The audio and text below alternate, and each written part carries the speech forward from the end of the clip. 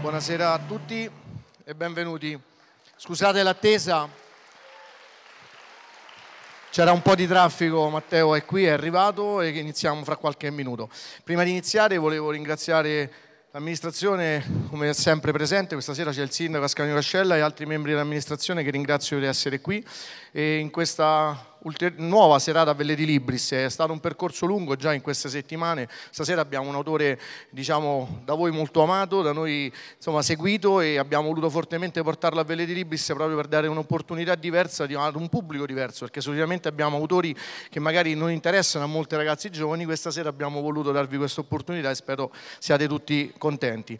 Quindi prima di iniziare vi do soltanto due informazioni, così Matteo si sta preparando e sta arrivando, e al termine chiaramente si farà il firmacopia come immaginate e come sperate, immagino molti di voi vorranno fare. L'unica cosa vi diamo un po' di attenzione, ossia Matteo resterà qui sul palco, la fila verrà fatta centrale, ci saranno diverse persone di noi che vi aiuteranno, così si evita confusione e magari eh, facciamo velocemente tutti. Le foto sono, eh, c'è la nostra fotografa, Matteo ha chiesto di far fare chiaramente a lei le foto per evitare diciamo, selfie e magari essere più complicato il firmacopia. Quindi ci sarà una fotografa e domani troverete le foto pubblicate sulle nostre pagine.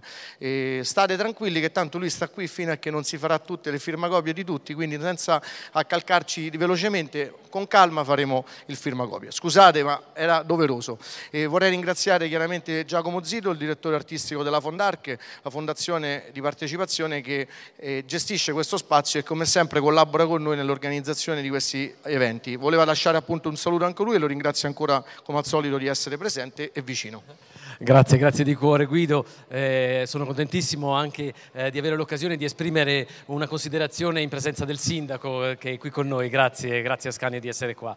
E, e, eh, ecco, ma faccio, giusto perché guardate, è è, è, preziosa la presenza dell'amministrazione in un'occasione come questa. Voi siete tutti giovani ed è bellissimo vedere il chiostro riempito eh, di nuove generazioni e, ed è, e insieme all'amministrazione è possibile ottenere questi risultati, altrimenti sarebbe eh, forse impossibile se non difficile. Eh, volevo dire solo una cosa e sono contento per questo che c'è il sindaco. Ehm, si sta generando veramente una nuova energia grazie a, a Guido, eh, grazie alla Mondadori, grazie grazie alla Fondazione De Cultura, ma lo dico in un dettaglio che, che, si è in qualche modo realizzato ieri. Noi abbiamo eh, un'attività che si espande sul territorio, sia Guido eh, che, che, io come direttore artistico anche in altre, in altre eh, diciamo, aree territoriali.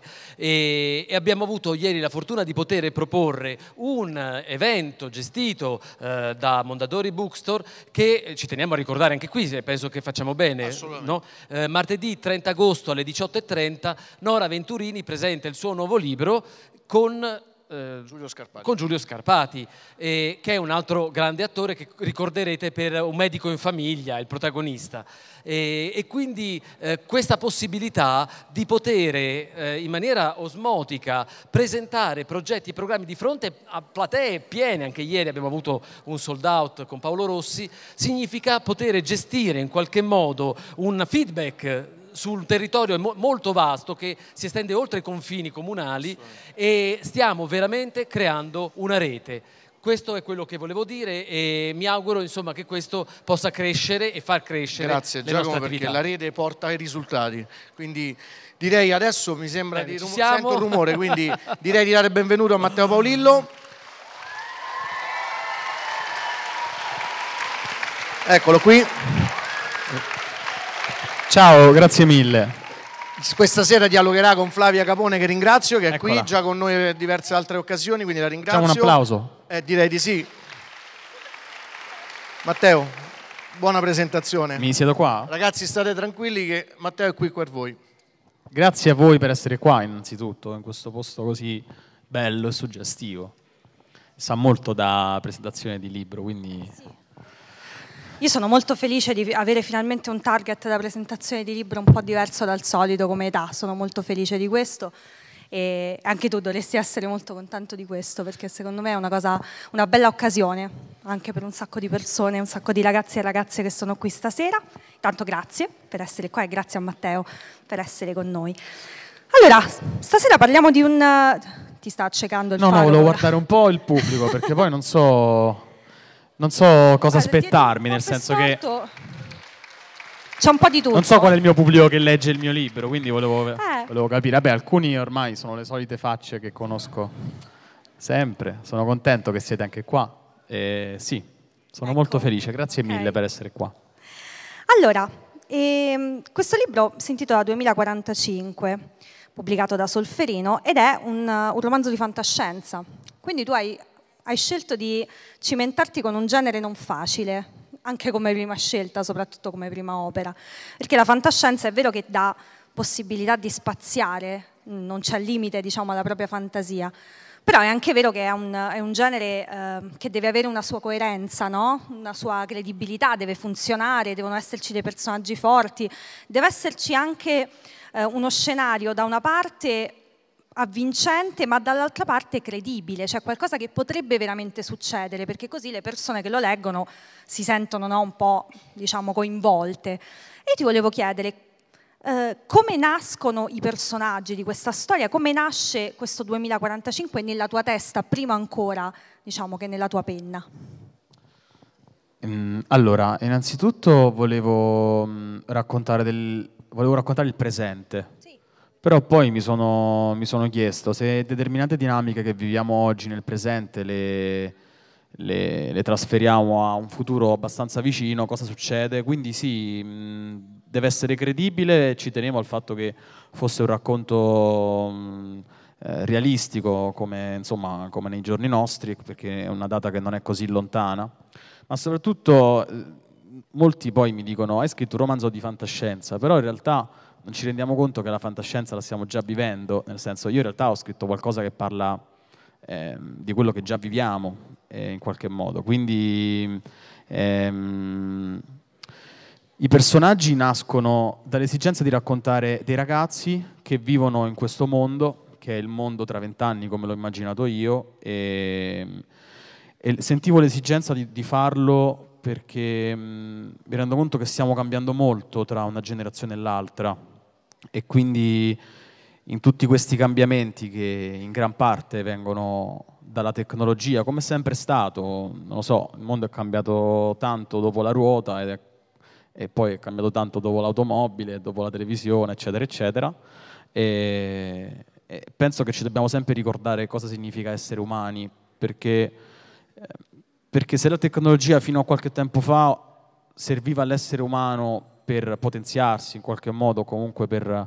Adesso mi, mi rendo conto che la tecnologia serve quasi a, a, metterci noi a servizio della tecnologia. Non siamo più noi che ci serviamo della tecnologia per fare le cose, ma è la tecnologia che si serve di noi per i fini commerciali in qualche modo. Quindi eh, in tutto questo, questo mischiarsi tra l'umanità e, e la tecnologia, secondo me ci dobbiamo ricordare cosa significa essere umani e cosa significa essere macchine.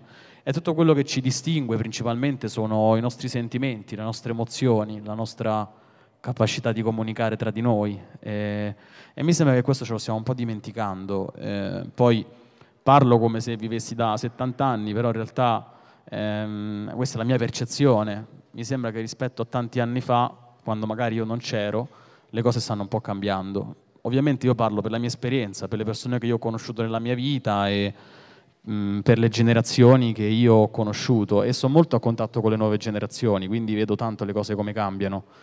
E, mh, io continuo a parlare se non mi interrompe. Quindi... No, no, io non ti interrompo, no, per, per, definizione non interrompo okay. la persona che parla. Però no, questa cosa della tecnologia ci torniamo dopo. rimaniamo un attimo al, agli scambi generazionali. A un certo punto c'è un personaggio, diciamo, tra virgolette, anziano, comunque grande del tuo libro che dice la vita funziona così, i giovani per capire devono distruggere, i vecchi devono lasciarli fare.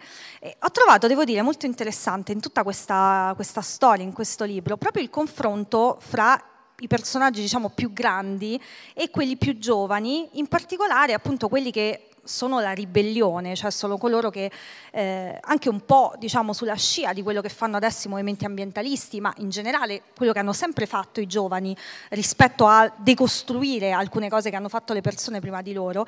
E, e devo dire che questo confronto generazionale forse è una delle cose più, più interessanti, perché ehm, i grandi, i vecchi a volte sembrano essere totalmente distanti e a volte invece c'è come una sorta di comprensione, come dicevi tu prima, no? eh, in passato le emozioni magari potevano essere più presenti, le relazioni e nei giovani che cercano la stessa cosa ecco che si trova diciamo, un punto di legame con le generazioni precedenti. Mi racconti un po' di, questi, di questo gap diciamo, generazionale? Sì, diciamo che lui dice mh, i giovani distruggono, i vecchi devono lasciarli fare perché diciamo che in particolare si riferisce a, alla ribellione, e, però più che insomma, lasciarli distruggere secondo me appunto è, è, bisogna saperli ascoltare, cioè nel senso che se ci sono dei giovani che si ribellano a qualcosa evidentemente c'è un motivo forte. E, e, i giovani trovo che siano la grande potenza della società perché sono quelli che magari hanno meno da perdere, che magari fanno le cose con più fervore, che sentono ehm, la loro spinta ormonale per la giustizia e, e quindi tutte queste cose secondo me vanno sempre ascoltate, poi possono essere giuste o sbagliate, però trovo che il grosso gap generazionale sia principalmente nell'ascolto. Um, è per questo che dico che non, più, non comunichiamo più allo stesso modo. Trovo che l'ascolto in generale stia cambiando, perché l'ascolto dipende dall'attenzione e l'attenzione sta cambiando tanto. Eh, io adesso ormai sono già, non so, 7-8 minuti che sto parlando e, e, già sicuramente potete notare tra di voi chi è già più distratto e chi, e chi, è più attento. Il bambino più piccolo infatti si sta già lamentando, giustamente. E, ehm, e quindi questo fa la grossa differenza. La generazione precedente ha una capacità di attenzione molto più alta che però comunque sta perdendo eh, anche insomma, dovuto ai ritmi della tecnologia, della vita, del lavoro, dalla frenesia delle cose che ci circondano. La generazione più giovane è molto attenta a tante cose, però si annoia molto più facilmente.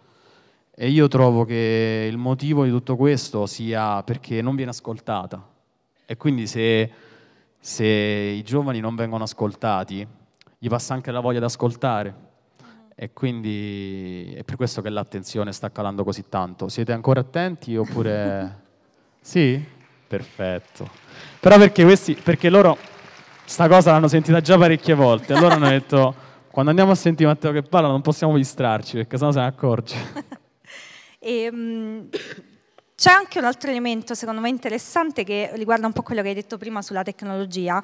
E una domanda che mi, è, che mi è venuta in mente leggendo il libro è anche un po' pensare al rapporto tra tecnologia e arte. Qui noi tutti occupi di arte, no? in varie forme, di, di, varia tipologia e uno dei pericoli, diciamo tra virgolette, no, che spesso si attribuiscono alla tecnologia è di ehm, sovrapporsi e sostituire anche la creatività, che in effetti è una cosa di cui adesso si sta parlando tantissimo per l'intelligenza artificiale, ma in generale è un, anche un po' il discorso che facevi tu prima della tecnologia che ci usa per fare soldi. Che cosa pensi di questo rapporto fra tecnologia e arte? Lo vedi come un pericolo, lo vedi come una risorsa? Aspetta, aspetta, hai detto qualcosa che ci usa per fare soldi? Ah sì, sì, sì. Beh sì, in fondo sì, sì. Le, diciamo, il sistema con cui funziona la, l'intelligenza artificiale è usare diciamo, le idee delle persone, eh, rigirarle per vendere qualcos'altro, poi di base è questo. E che cosa pensi di questo? Cioè, pensi sia un pericolo evidente, diretto o qualcosa che poi in fondo non si sostituirà mai? Guarda, hai aperto un discorso che forse ci vorrebbe una mezz'oretta per eh, parlarne, non so se... Magari poi, se ne parliamo solo io e te, magari siamo attenti tutto il tempo, vabbè. però non so... Vabbè, innanzitutto per l'intelligenza artificiale Hitchcock diceva sogno un mondo in cui scrivo una sceneggiatura, la metto dentro una macchina ed esce direttamente il film. E purtroppo per lui non l'ha vista ancora questa cosa, però noi ci siamo quasi arrivati. E, mm, il mondo cambia e, e, quindi penso che qual è la differenza?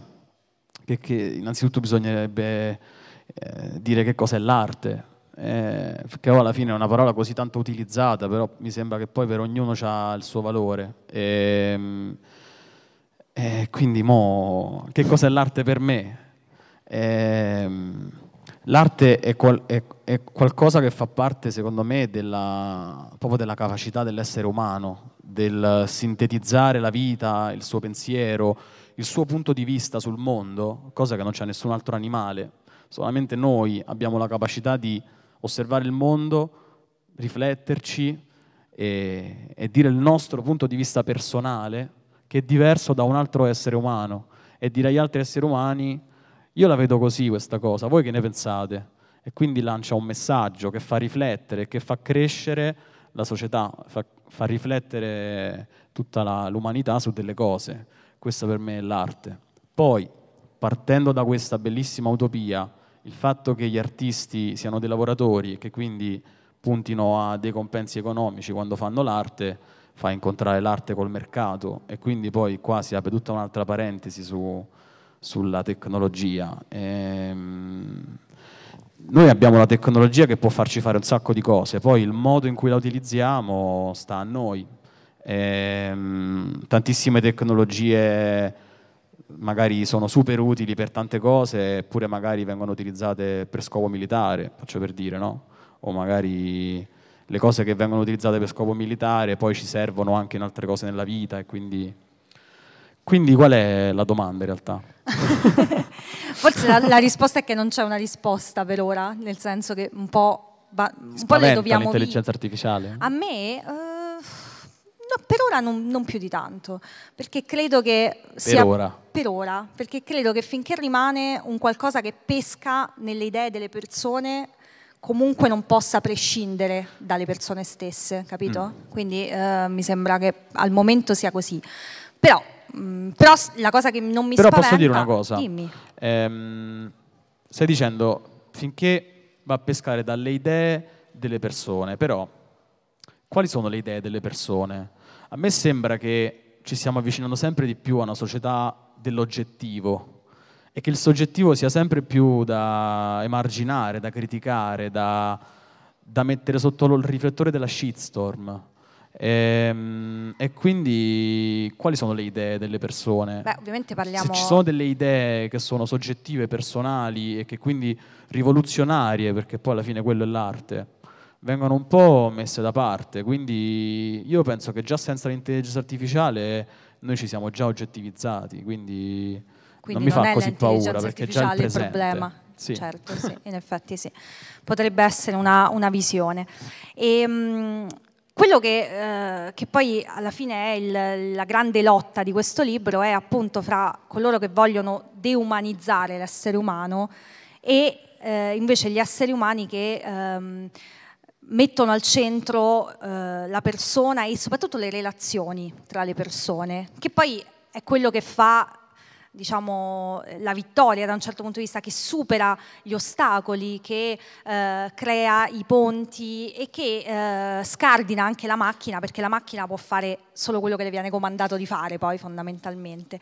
E, mh, mm, mi racconti qual è stato, o qual è secondo te il Ehm, la cosa più difficile da, da, spiegare e da raccontare quando si parla di questo argomento, quando si scrive di questo argomento, quando racconti anche alle persone di questo argomento, di questo libro?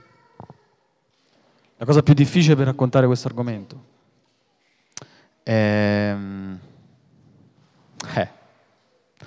Non lo so, vedo che comunque sono tutti abbastanza attenti, quindi, quindi in realtà non è così difficile ehm, perché forse mi rendo conto che quello che dico non è così lontano dal proprio sentire. Ehm, tutti ci rendiamo conto di quello, di quello, che ci circonda, di quello che, che ci danneggia, che poi siamo schiavi non riusciamo a uscirne, io e me compreso, ma come tutti, come, come tutti. Mi rendo conto delle nuove generazioni che mm, si rendono conto che hanno l'ansia e non sanno perché.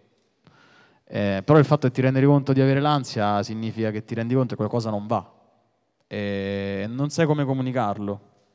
E, e qualcosa non va, ce ne accorgiamo tutti e non, non, andiamo a cercare le cause, ma ci concentriamo sulla superficie. Forse la cosa più difficile mm, quando si parla di queste cose è andare veramente in profondità, cercare veramente di cambiare il nostro approccio alla vita ma siamo così tanto distratti da, da tutto quello che ci circonda che forse non ci interessa nemmeno più di tanto. Non lo so, sono un po' pessimista io su questo argomento, nel senso mm, sono una persona molto felice e mi, mi rattristo raramente, però quando penso a queste cose sì.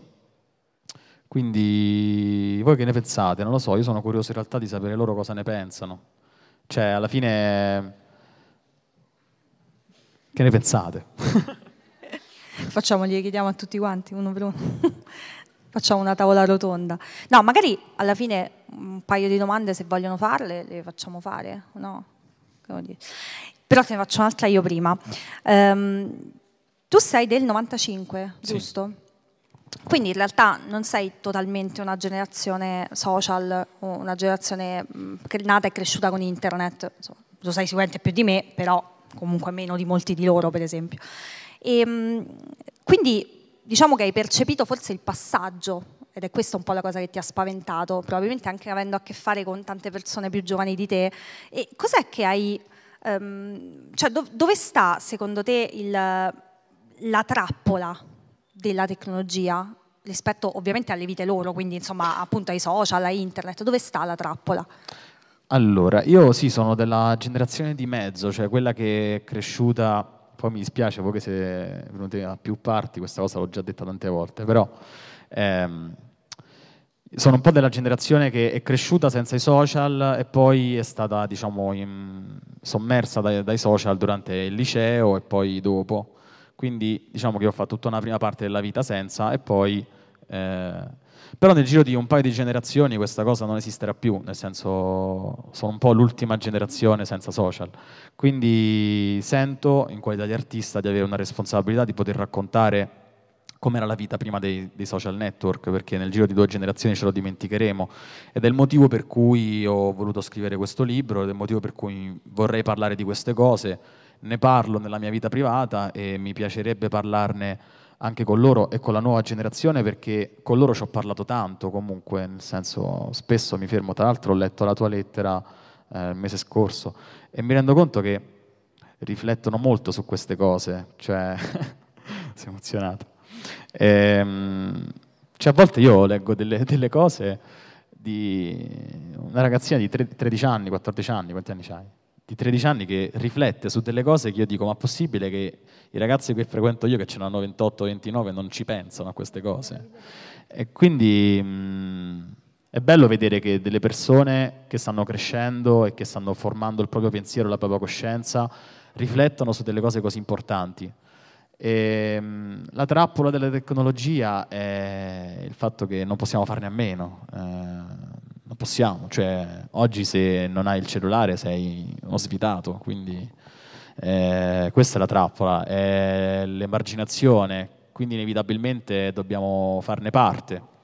Il, il, punto è che dobbiamo imparare a gestirla, a utilizzarla, a, a, far sì che sia a nostro favore e non a nostro sfavore. E diventa a nostro sfavore quando innanzitutto ne diventiamo dipendenti e, e sono strumenti tecnologici fatti per creare dipendenza e quindi eh, siamo tutti dipendenti da questa cosa. Io immagino che sappiate tutti che esistano comunque delle cliniche per disintossicarsi da questa cosa. Cioè io lo trovo un po' assurdo, no? Cioè, Adesso vedo che in prima fila c'è un signore, non so, ci avrà 50-60 anni. Quanto?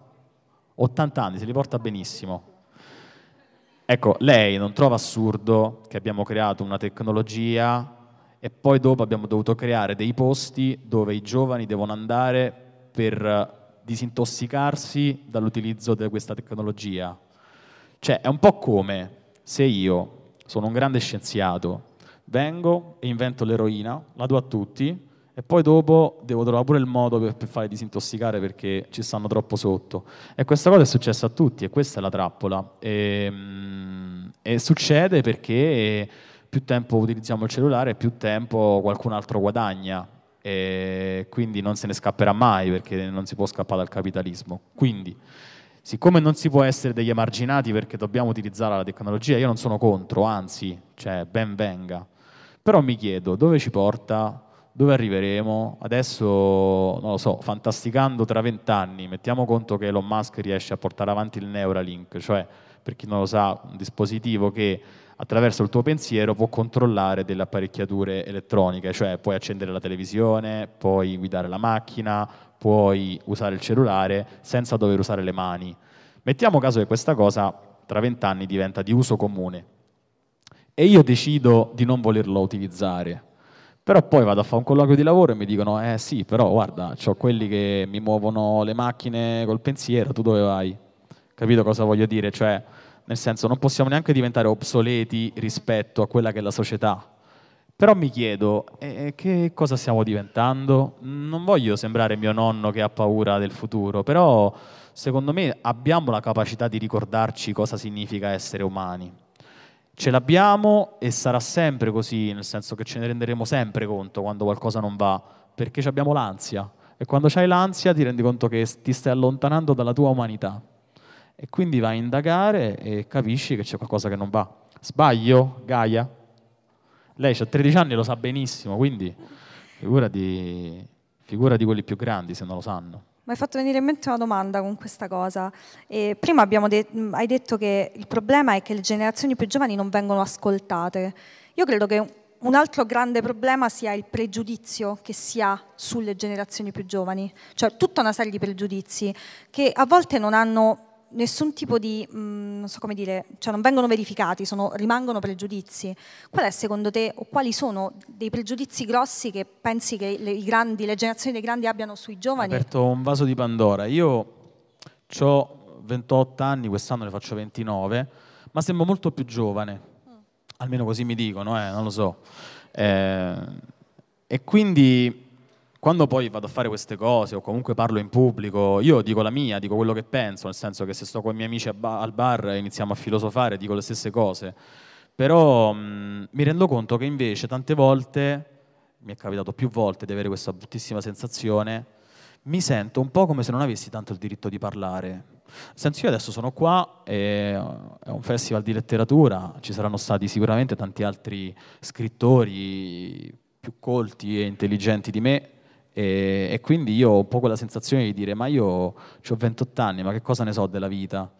E trovo che questa sensazione ce l'abbia tantissimo la nuova generazione. E penso che i ragazzi di oggi eh, passano il tempo a, a osservare i grandi, aspettando il tempo di poter parlare con i grandi e di essere ascoltati veramente.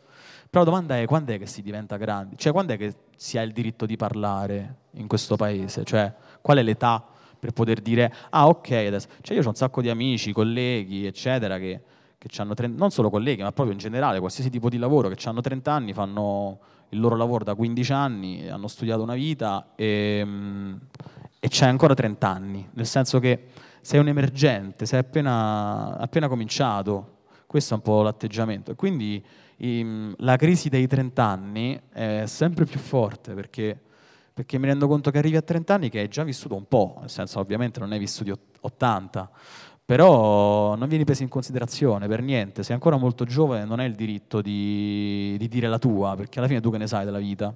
E, e trovo che questo atteggiamento nelle nuove generazioni sia ancora più, più pesante. E, invece la cosa meravigliosa per me è che ogni generazione, ogni età ha il suo punto di vista e io mi meraviglio sempre quando li ascolto e quando eppure ci passiamo, non lo so, 10-15 anni e, e, trovo delle cose completamente diverse dal punto di vista della mia generazione, quindi cresco perché imparo il mondo come sta andando. A me piacciono tantissimo, per esempio, i professori o quelli che lavorano con i bambini o quelli che... perché sono persone che stanno sempre in continuo aggiornamento su come sta andando il mondo e invece trovo che, specialmente in questo paese, quello che succede spesso è che ehm, i grandi pensano solo a quello che pensano i grandi e non gli interessa tanto sapere come, cosa pensano i giovani perché tanto... Uh, perché tanto non è che chissà che pensano, che ne sanno loro della vita. Questo è un po' l'atteggiamento, secondo me. Mi eh, sbaglio? No, no, è giustissimo. È, è la grande fregatura. Vedo, vedo, i giovani che annuiscono e i grandi che fanno.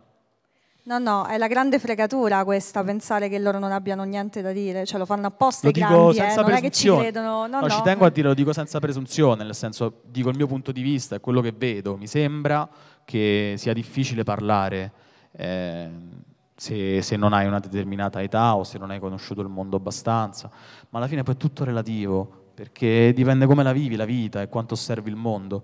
Puoi avere 50 anni e non avere il tempo di pensare neanche un secondo nella tua vita perché lavori dalla mattina alla sera, torni a casa che c'è il mal di testa e ti metti a letto e va bene così. Però magari hai avuto la fortuna di poter avere del tempo libero su riflettere su una cosa e perché non puoi condividerla con gli altri? Invece mi sembra sempre che ci sia un po' di snobismo in generale.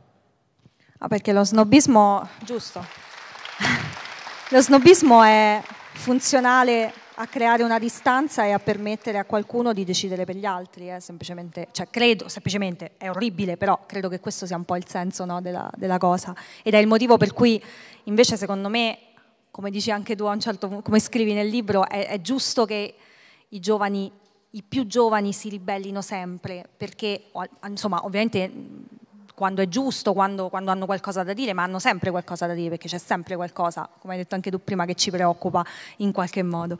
Senti, invece ehm, ho quasi finito, eh, poi dopo ve lo lascio.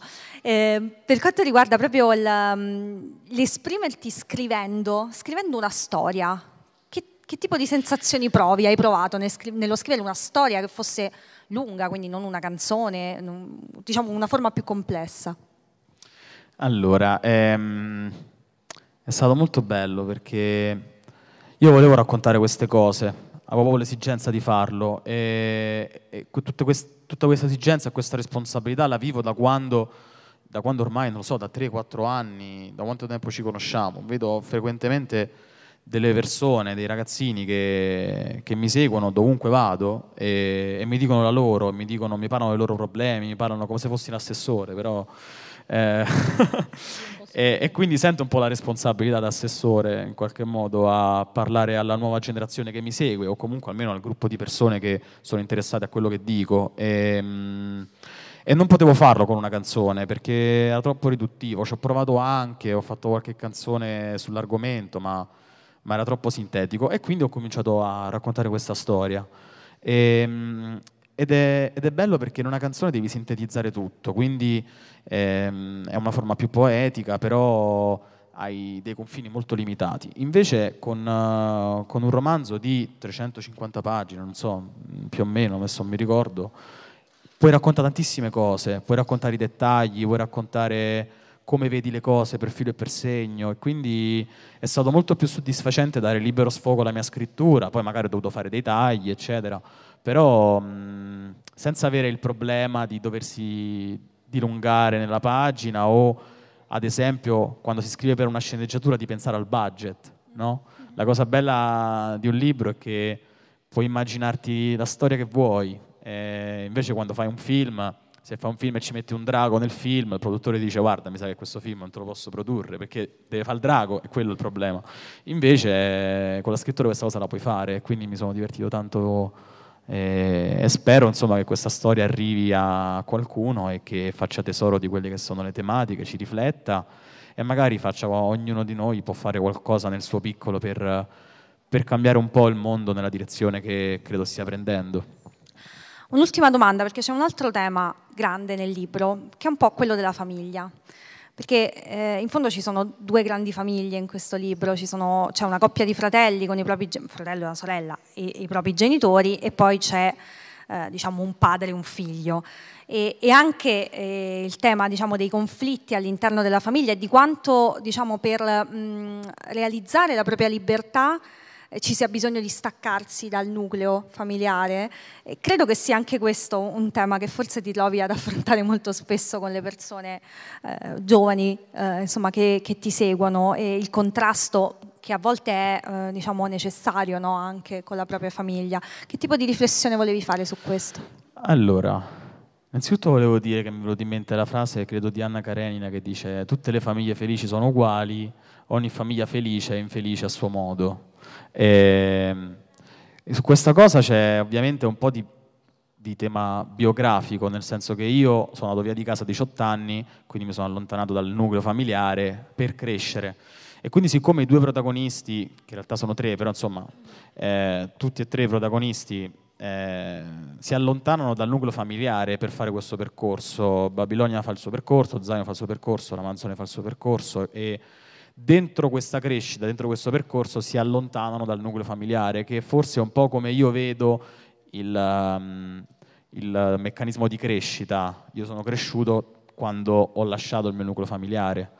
E, um, e poi ho parlato di, di, conflitti, di cose che succedono. Questo non è insomma, una cosa tanto autobiografica perché io ho un bellissimo rapporto con la mia famiglia e sono super contento di avere i genitori che ho.